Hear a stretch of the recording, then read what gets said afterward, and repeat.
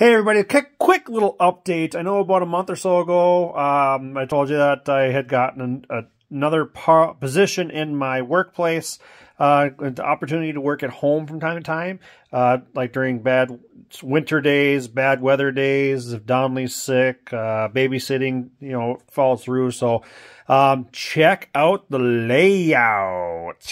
Look at that, three screens and ready to go. Got a little heater down there because it's cold down here. Got a little uh, floor covering there for my feetsies. My, my feetsies. And then, of course, if you're going to be working down here, you got to make sure this place is clean. You got to make sure that you have decorations. Don't don't look at that. I I don't use that. No.